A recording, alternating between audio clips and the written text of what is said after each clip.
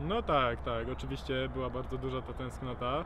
No muszę przyznać, że trenowanie na boisku, a trenowanie y, w domu to zupełnie dwie różne sprawy i zdecydowanie lepiej myślę, że wszyscy czują się na boisku i na szczęście już możemy trenować normalnie wszyscy w grupie.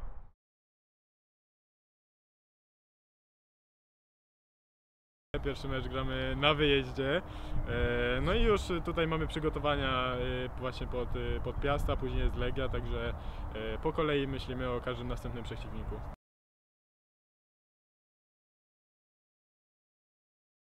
No tak, niestety akurat jeśli chodzi o nasz zespół, nasz, nasz klub, no to kibice są bardzo ważnym tutaj ogniwem dla nas, dla Wisły Kraków, także bardzo szkoda, że nie będzie, mm, nie będą mogli być kibice z nami na meczach na Reymonta, no ale miejmy nadzieję, że będą nas wspierać w domu albo, albo nie wiem, może jakieś zorganizują wspólne oglądanie i, i będą nam kibicować.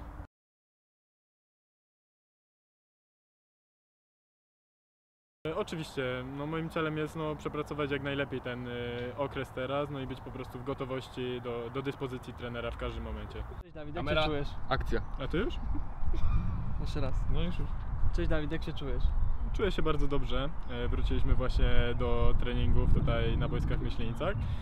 E, No i bardzo się cieszę oczywiście z tego, że możemy już normalnie trenować. e, Nie tak jak wcześniej było w domu, tylko już na szczęście wszyscy razem na boisku. Ostatnio Damian Pawłowski wybrał Cię do swojej jedenastki. Jak oceniasz e, ten wybór? No, myślę, że no Damian nadawałby się zdecydowanie na szkoleniowca jakiegoś, jakiegoś e, zespołu. Także jestem mu bardzo wdzięczny, że akurat on mnie wybrał do tego zespołu i umieścił mnie tam e, w swoim zestawieniu. No i myślę, że dawałbym siebie wszystko dla takiego dobrego trenera, jakim jest Damian.